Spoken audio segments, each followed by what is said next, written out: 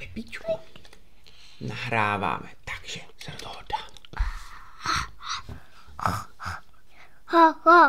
A udělej malinký kvík. A udělej překvapené kvík.